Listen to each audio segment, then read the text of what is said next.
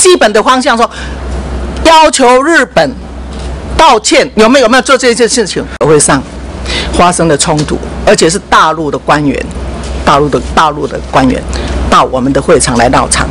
那我想请问一下，我们有没有人员受伤是怎样，什么样的状情况？那我们的第一时间，我们的外交部做出怎么样的回应？有有没有什么做什么样的回应？有没有第替第一线的外交人员出口气还是怎么样？我们总要做一点表示啊。有的，因为我们的同仁基于职责所在啊，去阻止他们做这种破坏的动作。只有阻止而已吗？呃，有没有抗议啊？怎么样这一类的啊？哎，我我们我们的主旨当然就是抗议哦，就是不希望他们来破坏我们活动的现场。那当当然。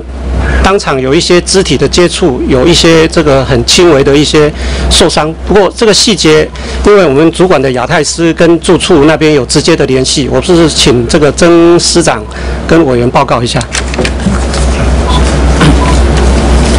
报告委员，这里有一点补充的说明了哈。这个中方啊，中国大使馆两个馆员到我们国庆酒会的场地来对峙骚扰，他主要的目的就是要。了解到底啊，斐济的政要有什么人来参加？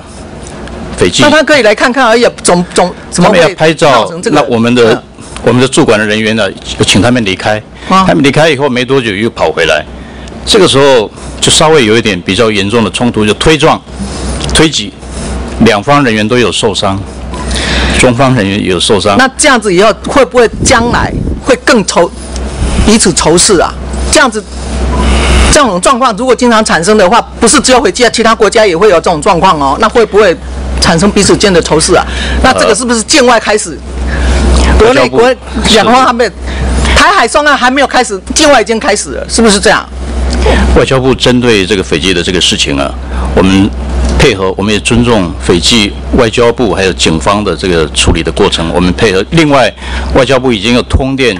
我们所有的驻外的大使馆、代表处、办事处啊，特别提防，提防中国以后这种战狼外交啊，这种攻击性越来越强的方式啊，有可能会危及到我们其他的馆处以后的公开的活动对呀，我们我们的其他馆处也会有类似传。就这次如果我们好好，我们没有好好处理的话，下次另外一个另外一个馆，谁知道会不会有这种状况发生？就像我们那个呃。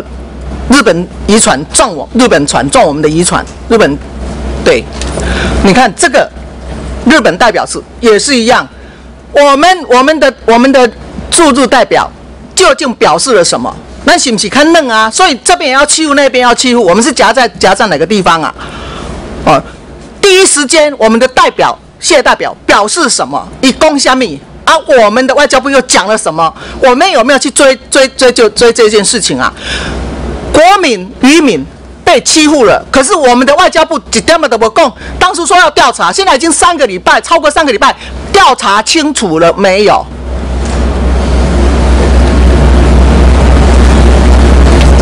报告委员，现在正在交通部，现在还在海事鉴定当中，还在鉴定，三个礼拜了还在鉴定，怎么那么久啊？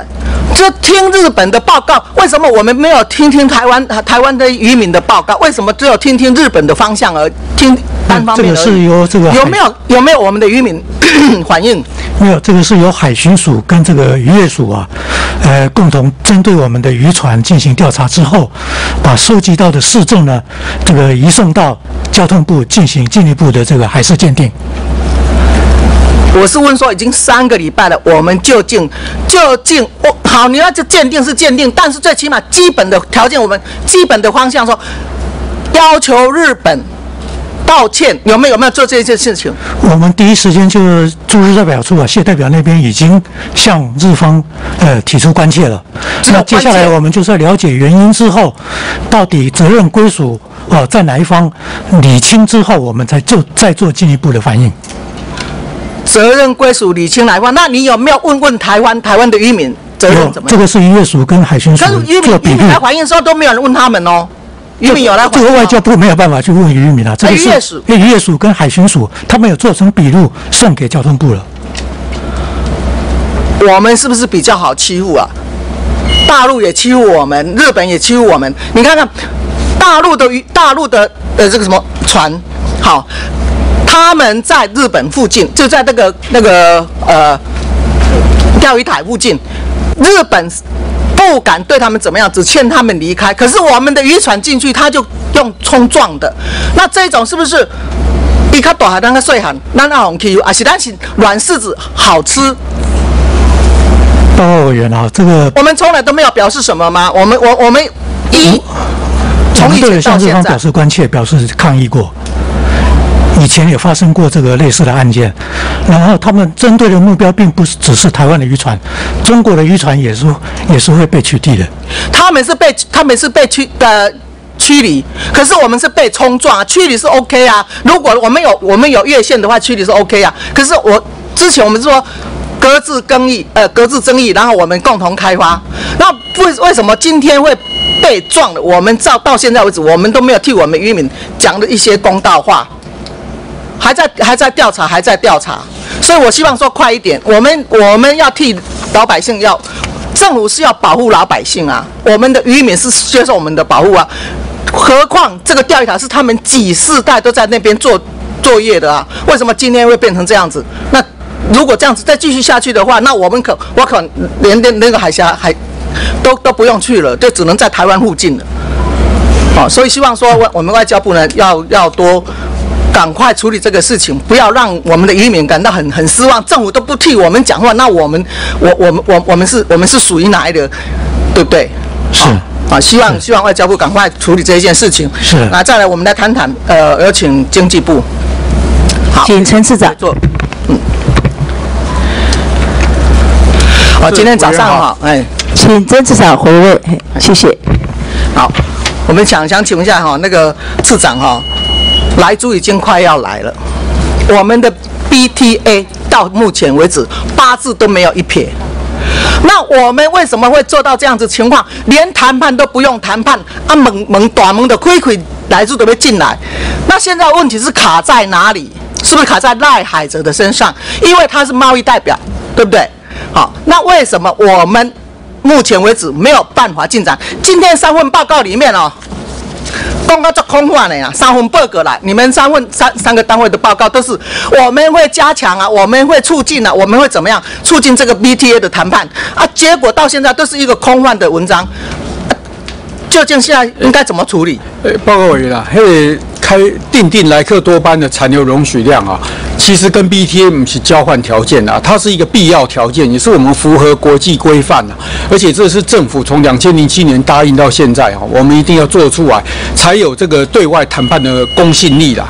所以这个东，这个呃，未来要 BTA 要推动，我们报告里面说，这个先营造一个气氛，主要是多元布局。比方说国务院他也表示支持，比方说国会也表示支持，比方说产业界也表示支持。他都。只表示而已啊，结果结果都没有真正的让落实啊。不，过去哦，过去的支持声音没有这么大，也没有这么正面，没有这么公开啊。哈，比方产业界也担心他在中国的投资，你跟他讲啊。那这一次能够站出来，我们觉得非常的欣慰啊。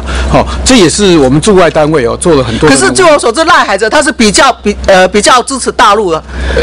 呃，我不去评论这个美国的官员啊，但是我想美国是一个民主国家哈，我们这样多元的布局哦，对于我们这个目标一定有非常大的。那我想再请问一下，九月一号，九月一号我们的我们的肖代表，还有我们的王部长，哦，还有还有那个呃智库啊，美国智库，他们有谈到这谈到这事情，那这事情有没有什么稍微一点点具体的结论？一点点，王部有没有一点点？王部长有没有具体的结论王部王部长跟传统基金会有有提这件事情。那这个传统基金会在川普政府里面非常具影响力的智库，他也正面的表示支持。他说他会利用他的管道跟他的这个言论的论坛，他会为我们。那下一次他们有没有有没有有没有一个时程表？说中程、长程、远程？